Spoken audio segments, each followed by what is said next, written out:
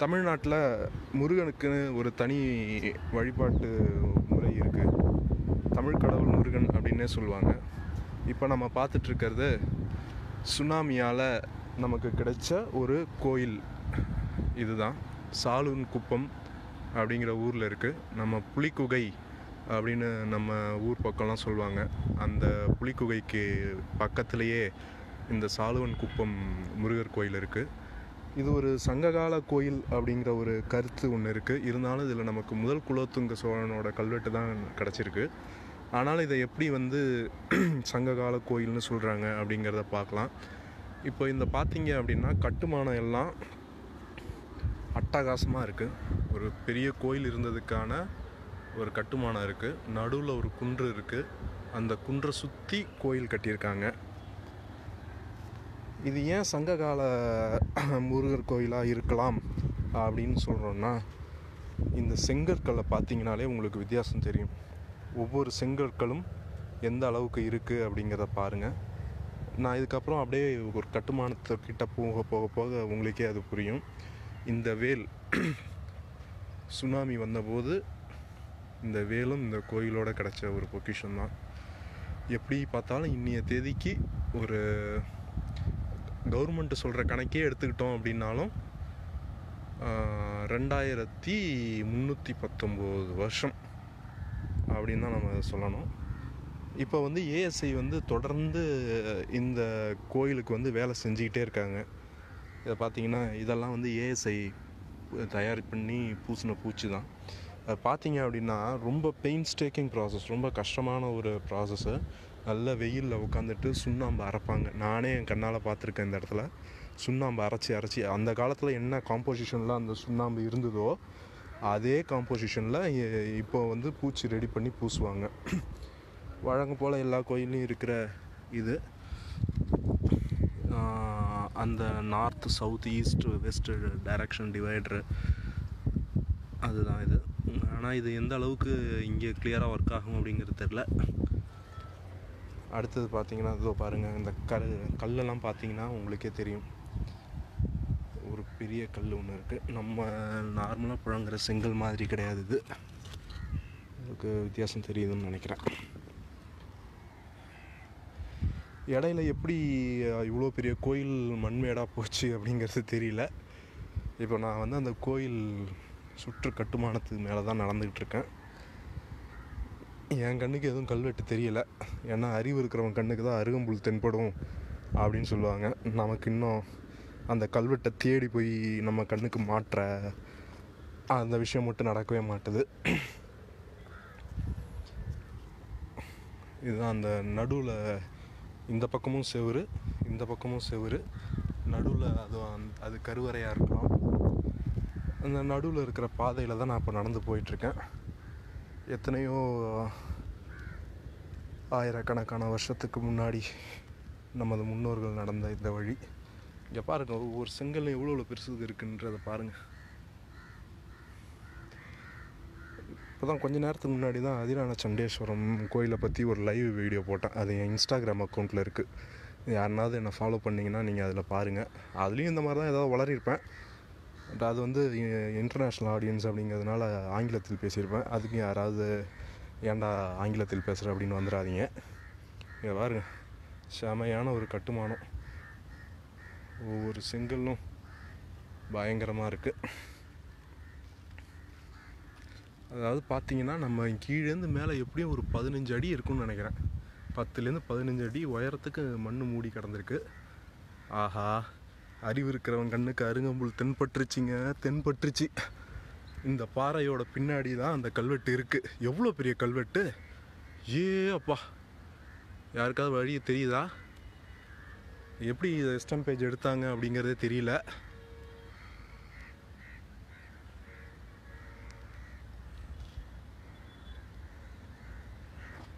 அந்த சுண்ணாம்பு காரை அந்த கிளிஞ்சல்கள்லாம் அப்படியே இருக்குது எல்லாமே இதை பாருங்கள் அந்த காலத்து சுண்ணாம்பு நம்ம சிமெண்ட் கட்டிங்கன்னு சொல்கிறோம் இல்லையா? அந்த மாதிரி அந்த சுண்ணாம்பு காரை.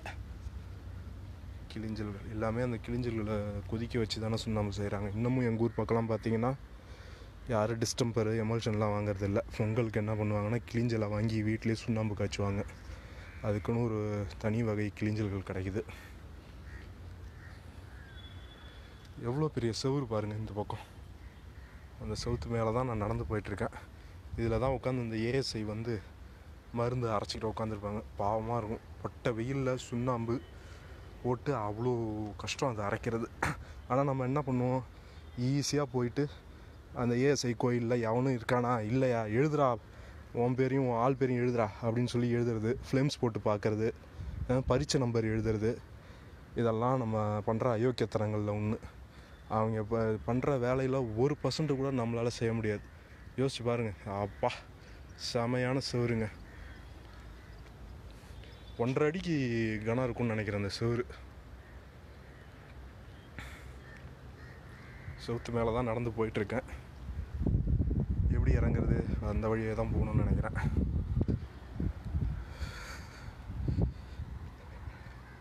அதனால் முடிஞ்ச அளவுக்கு இந்த மாதிரியான இடத்துக்குலாம் வந்தீங்கன்னா நீங்கள் பண்ணல அப்படின்னாலும் நீங்கள் யாரும் பண்ண மாட்டீங்கன்னு தெரியும்.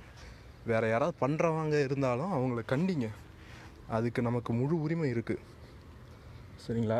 இந்த வேலையே பார்த்தீங்கன்னா இப்போ ஒரு வேல் பார்த்தோம் இல்லையா? அந்த வேலையே ஒரு வருஷத்துக்கு முன்னாடி உடச்சி போட்டானு. அது எவன் உடச்சி போட்டான்னு தெரில. உடச்சி போட்டு போயிட்டானுங்க. அதுக்கப்புறம் திரும்ப அந்த வேலை வந்து அதே ப்ரப்போர்ஷனில் அந்த சில்லு சின்ன சில்லெல்லாம் எடுத்து கூட பொறுக்கி ஒட்ட வச்சாங்க. அதுவும் ஏஎஸ்ஐயோட வேலை தான் இங்க பாருங்க கீழே பூராங்கல். இந்த ஏரியாவில் எங்கேயுமே பூராங்கல் கிடையாது.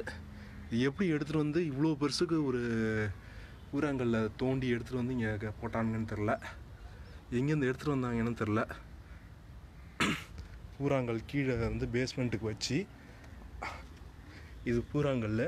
அடியில் இன்னும் எவ்வளோ தூரத்துக்கு பேஸ்மெண்ட் இருக்குன்னு தெரில இதுக்கு மேலே செங்கல். ஒவ்வொரு செங்கல் எவ்வளோ பெருசுக்கு நாம நீங்களே பார்த்துருப்பீங்க. இத்தனை அடுக்கு செங்கல் வச்சு கட்டியிருக்கானுங்க. குன்றுதோறும் குமரன் இருப்பான் அப்படின்றது ஒரு பழமொழி. மேபி இந்த அதனால் இந்த குன்றில் முருகர் இருந்தாரா? அவரை சுற்றி வந்து கோயில் எழுப்புனாங்களா? அப்படிங்கிறது அந்த கடைசியாக குலோத்துங்கன் காலத்தில் பார்த்தவங்களுக்கே வெளிச்சம். இதுதான் கருவறையாக இருந்திருக்கணும். எவ்வளோ ஆழம் இருக்குது பாருங்கள் சுத்தீரம் வந்து கட்டுமானம். இதுதான் வந்து கருவறை. கருவறையை சுற்றி நடப்போம்.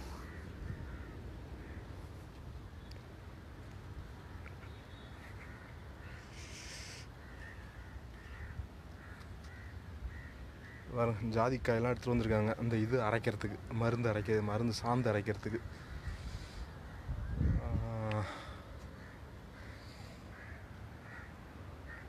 ஐயோ இப்போ எப்படி போகிறதுன்னு தெரியலையே. நம்மளால் முடிஞ்ச அளவுக்கு ஏன்னா நம்ம ஃப்ரெண்ட்ஸ் எல்லாம் ஒவ்வொருத்தரும் ஒவ்வொரு பக்கம் போயிட்டாங்க. ஒருத்தர் ஒரு நண்பருக்கு கோயம்புத்தூர் கல்யாணம் அப்படின்னு போயிட்டாங்க ஒரு குரூப்பு இன்னொருத்தவங்க ஹம்பி மரபு நடைன்னு ஒன்று ஓடிட்டுருக்கு அங்கே போயிட்டாங்க.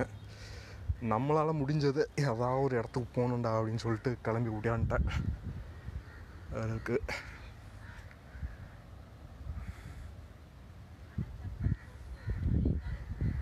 உங்கள் மாமல்லபுரம் வர வந்தீங்க அப்படின்னா மாமல்லபுரத்துலேருந்து ஒரு ஆறு கிலோமீட்டர் இருக்கும்னு நினைக்கிறேன். அதுக்கு முன்னாடி இந்த புலிக்கொகை உள்ள டிக்கெட் எடுத்துகிட்டு வரணும்.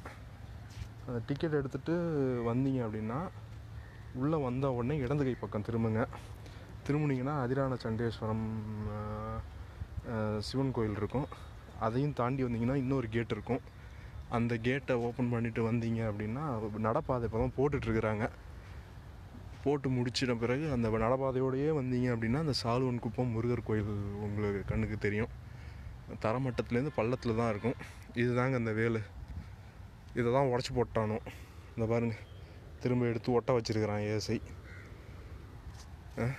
இதெல்லாம் எந்த கூரில் சொல்கிறதுன்னு தெரியல.